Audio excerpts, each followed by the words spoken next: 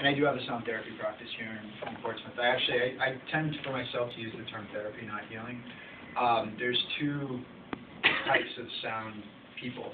There's sound healers and sound therapists, and um, I come from more of a musical background, and you'll find that most of the people that lean into sound therapy tend to be more musical background people. And not that one is better than the other, but there's some distinctions that I'll talk about with, with this group tonight, especially because you're wanting to find out more about vibration. Um, I've done a lot of sound healing workshops with uh, with the uh, with sound healers using bowls, uh, percussion. There tends to be less of a um, uh, an adherence to uh, music theory when you get into sound healing.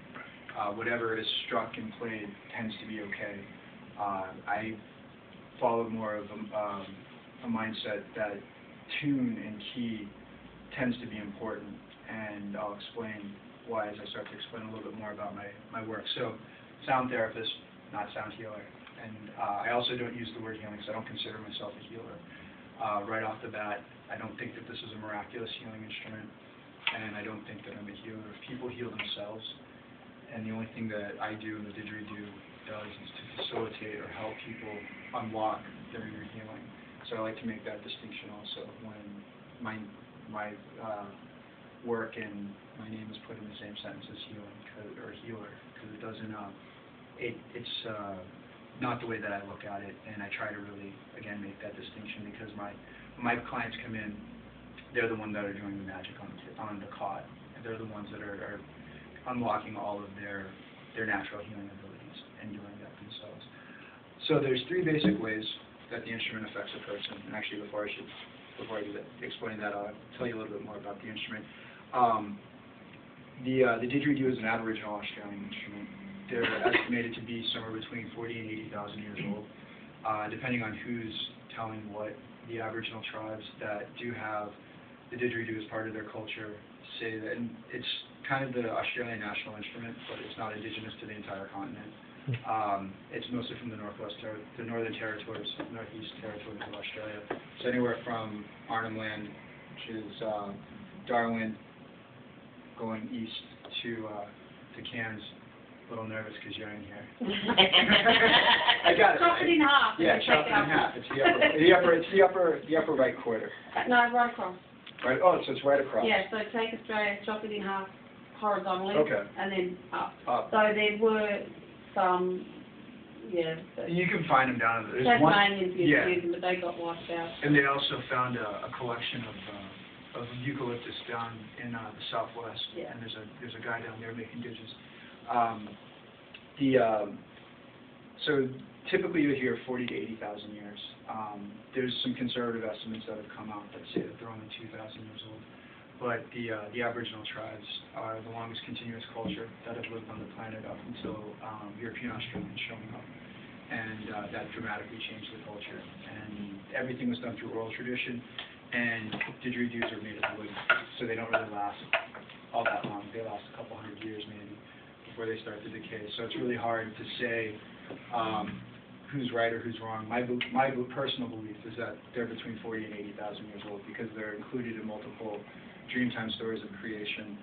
Um, the uh, the Aboriginal tribes themselves don't have the same belief system that we do in terms of uh, their relationship with the, the world.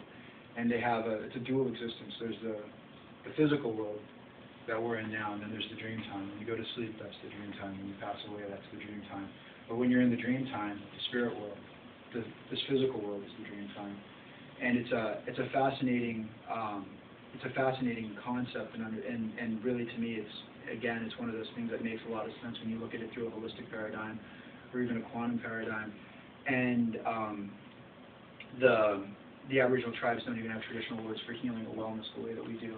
So the idea of using these instruments as a um, a healing tool, a therapy tool, a meditation tool it wasn't something that they would directly view that with. It's a very Western concept, and um, it's because of this relationship with the dream time.